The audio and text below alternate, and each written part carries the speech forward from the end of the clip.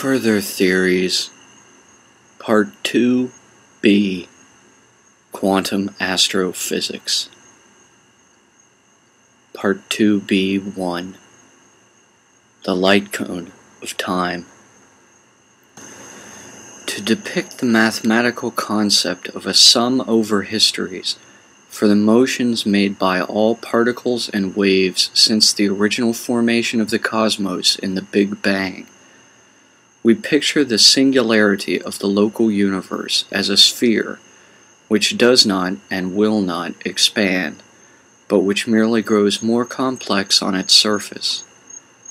We see above a light cone is simply a core sample from the upper crust of our universe, where we dwell within the thin film of the space-time continuum, toward the core of the figurative sphere of the universal singularity, which we call the Big Bang event. The Big Bang core of our spherical space-time continuum signifies the beginning of time, where time is measured by the speed of light in a void, called c, used to measure space-time in light years. Around a depth inside our universal core of 18 billion years ago, the Big Bang began the expansion or complexification on the surface of our current cosmic continuum. The modern graph of the light cone sum over histories of our present universe, the continuum we dwell in below the speed of photons in a vacuum, that is the surface of space-time, shows also the alteration to the light cone core sample and its expansion rate over time caused by the differentiation from pure thermal radiation of the four elemental forces around one Planck time following the Big Bang. As mentioned in a prior section of these lectures, the proper order for their division is, following the Big Bang, gravity, electromagnetism, fission, and fusion followed by the counting of the first Planck time of our cosmic existence. In this depiction, we show the universal expansion rate as a combination of all three possible forms for its geometry. 1. Flat, meaning perpetual expansion. 2. Round, meaning perpetual stationary space.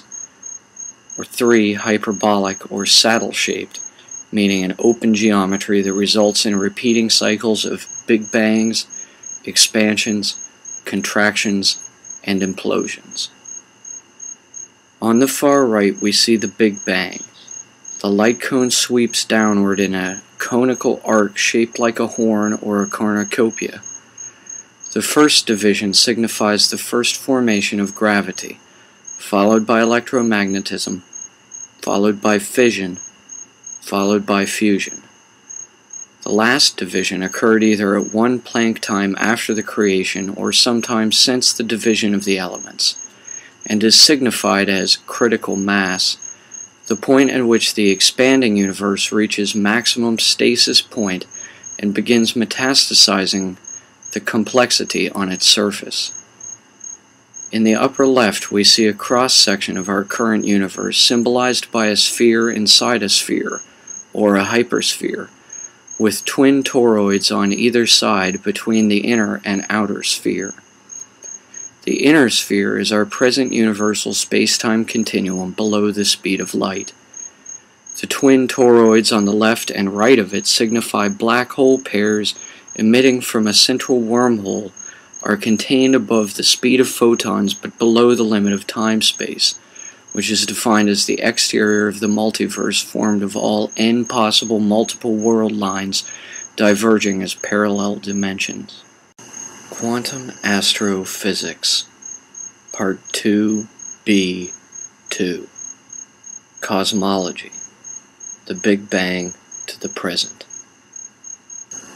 Let us begin with the tau sub tau tesseract of time it is called Tau sub tau because when one extends a number line outward from the Big Bang and counts off increasingly more infinite number sets, The most infinite set of numbers one can count to is comprised of the last letter of the Hebrew alphabet repeated twice, once as a numeral and once as a participle, subtended to the final sum to denote it as having been multiplied by itself, as well as to create a squared representation of it, which takes shape in the form of the tesseract of all tachyons over time, the measuring device superseding in a perfect but unachievably ideal form the entire cosmic cycle from our current multiverse to the nulliverse and back through another Big Bang.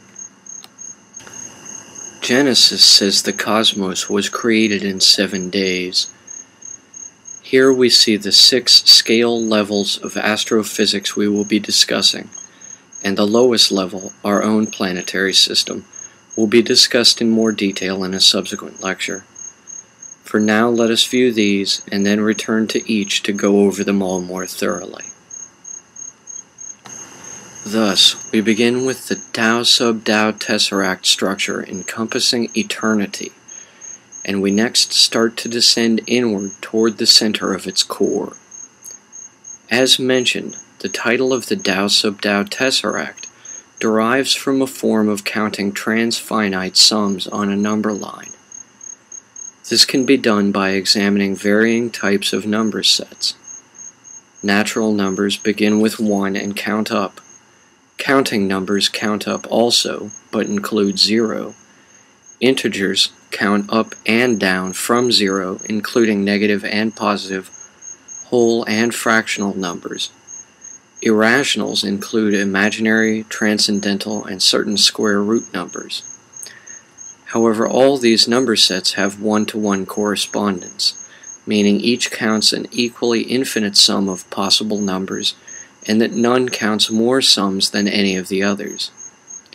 If you superimposed all these sets onto one another, they would form a single cohesive whole exactly equal to each of its individual parts. In short, you cannot add them to one another to increase the infinite number sum of these sets. Count 2 by adding or multiplying one by another. Thus, these four number sets, the naturals, counting, integers, and irrationals, combined are called the infinite set of all rational numbers.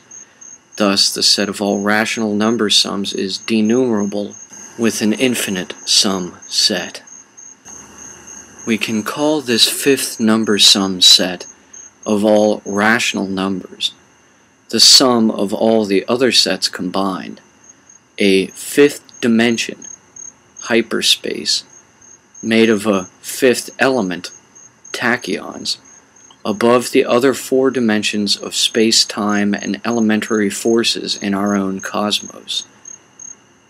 The four forces of space-time, plus the fifth element of faster-than-photon metaforms from beyond, but that pass invisibly through our cosmos comprise the form of the multiverse of parallel dimensional baby universes formed outside the vacuum speed of photons by black holes inverting matter energy within our own cosmos into dark energy and antimatter without. The maximum amount of matter our cosmos can contain, called critical mass, occurred following the division at one Planck time following the Big Bang of the four elements. During the earliest stellar phases, when the first black holes began to form. Following critical mass, the universe was divided between the cosmic continuum of matter energy within space-time and the multiverse of tachyonic parallel dimensions beyond time-space. Our present universe is defined as follows. Space extends in time outward from Earth around 16 billion light years in all directions. Below the speed of light, we see our own local universe defined as a complex pattern within an expansion of the original singularity, a network of galaxies aligning along filaments between vast voids of empty space. However, beyond the speed of photons, this appearance is revealed as merely an illusion such that in the last 16 billion years, all the furthest galaxies from us would have already been consumed into their core black holes. Thus, we find that our own local universe is simultaneously expanding, the voids, and contracting, burning out stars into massive black holes, and that as this occurs, more matter is converted into energy than vice versa, which will eventually result in a total evaporation of our present cosmos into a conceptual cosmos of pure tachyonic energy called a nulliverse. When the last star in our cosmos has been swallowed up through a final supermassive black hole, the multiverse of baby universes surrounding us now will metastasize into a pure 1D singularity, and the cycle will repeat the original Big Bang event. Quantum Astrophysics, Part 2b3 Black Holes and Wormholes. We can look at our present universe as an expansion of entropy outward from a core p instanton sized 1D singularity measured along an axis of infinite time.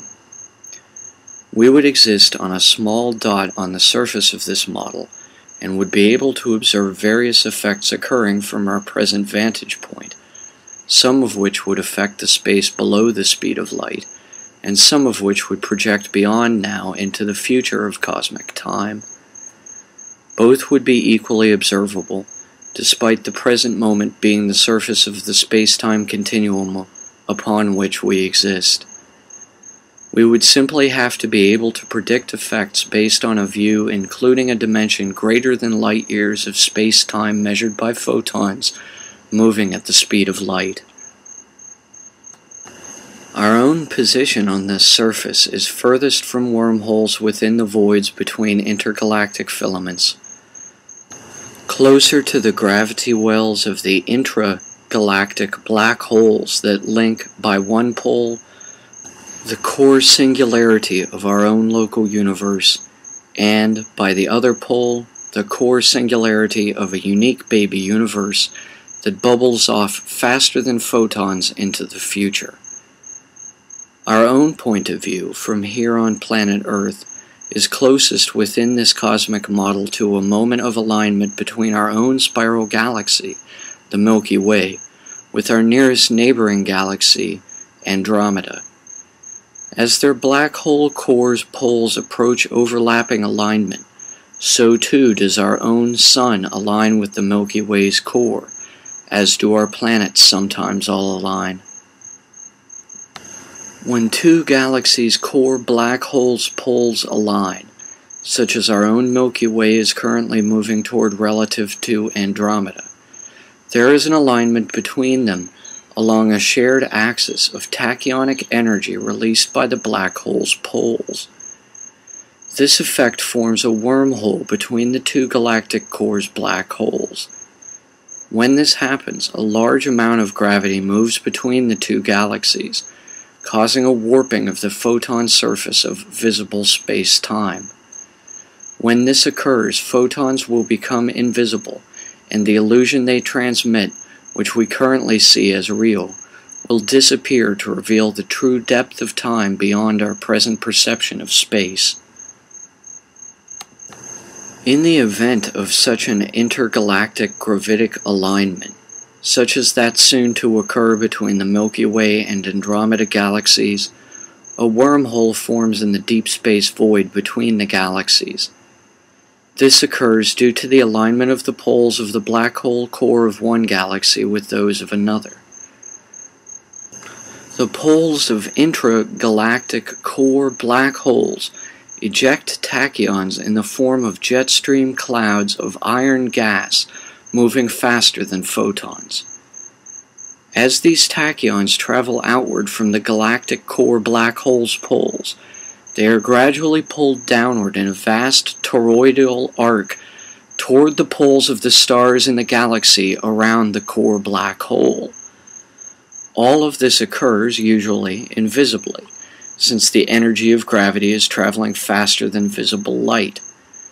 However, the result is the variances in precession of the electromagnetic poles of all stars, planets, and non-tidally locked moons.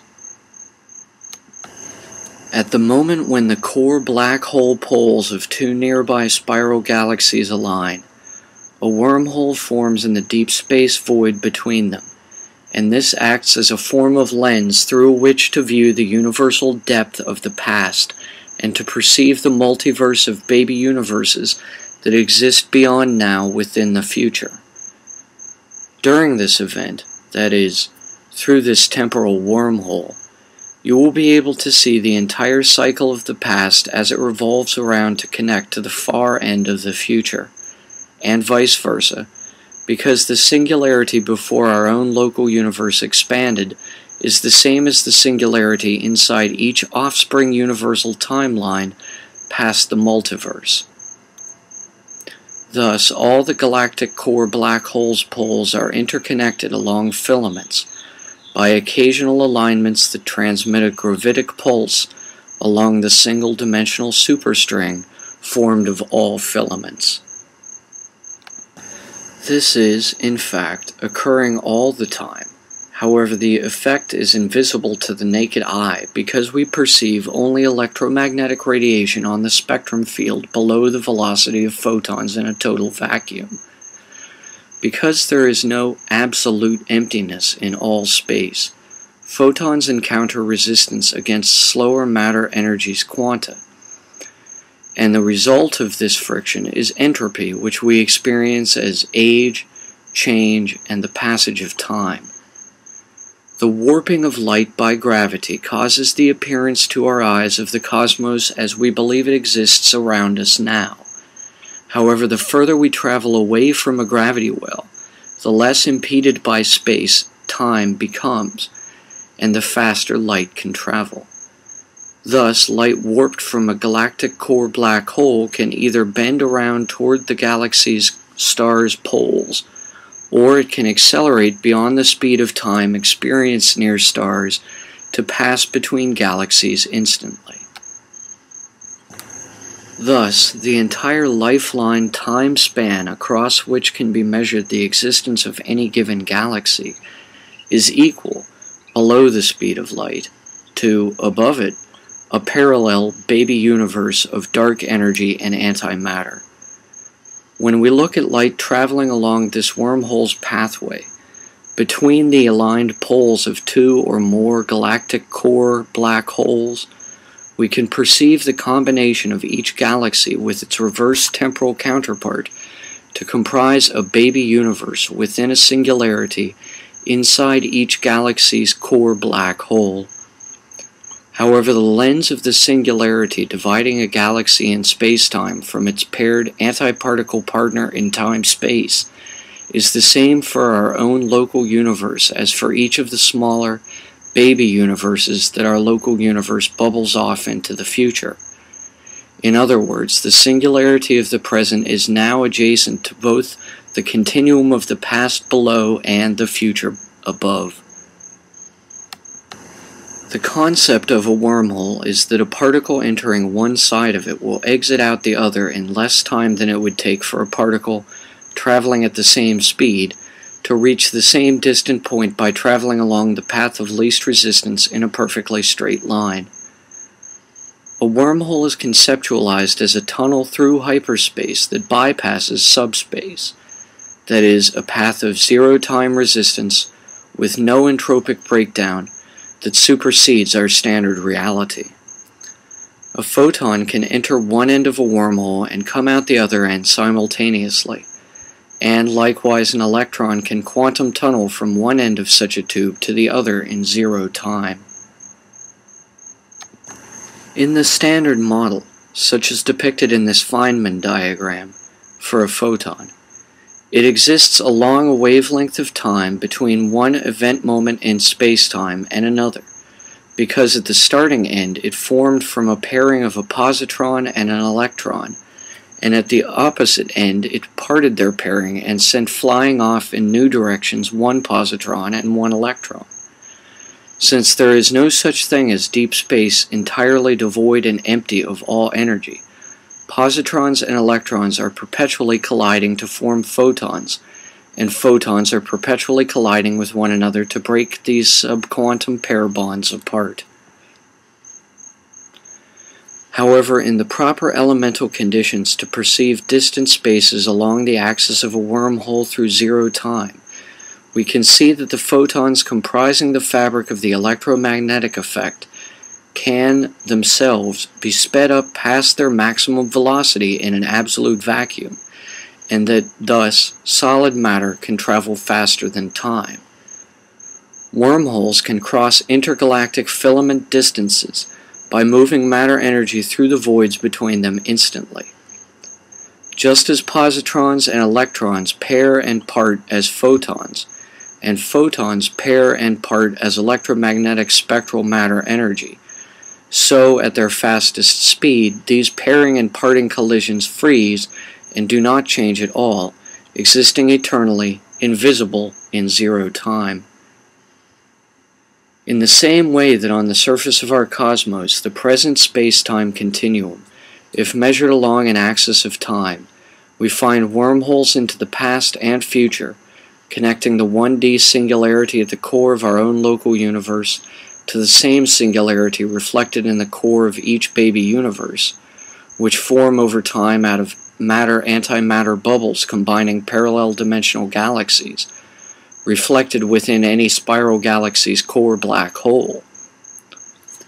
So we can, if measuring shapes forming in space rather than patterns over durations of time, see that the surface of our present continuum is a flat plane with the Big Bang at its furthest event horizon, that closer to us from then are galaxies, which contain within their core black holes on the surface of which are wormholes that connect to the interior baby universes inside the core black hole. The four elemental and four dimensional force carrying quanta, including tachyons as the particle carrying the force of gravity, combine to comprise a fifth form in the series that is equal to each individually as well as to all of them combined into one.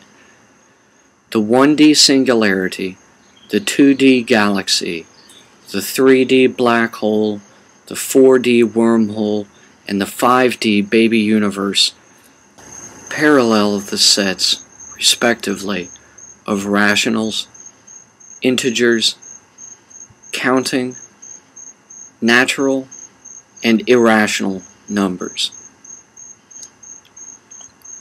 And just as we have learned that the four number sum sets below the rationals all have one-to-one correspondence to one another within the infinite set of all rational numbers, so too can we model each trait by scale upon the surface of a single model that combines all of them overlapping into one without changing the function or form of any of the smaller parts. We see here the fabric of the space-time continuum as a grid of purple on black emanating from the yellow Big Bang in the upper right corner of the chart, with twin spiral galaxies, one clockwise, the other counterclockwise, depicted in yellow, whose core black holes are enlarged and shown as a blue torus around a black sphere with a yellow pole emitting red gas jets to arc into blue toroids surrounding the yellow galaxies. Emitting from these poles below the surface of the fabric of space-time in a green spiral history is a small baby universe reflecting the inverse of its parent galaxy. Between the two galaxies below the surface of space-time is a yellow and purple time tunnel, or wormhole.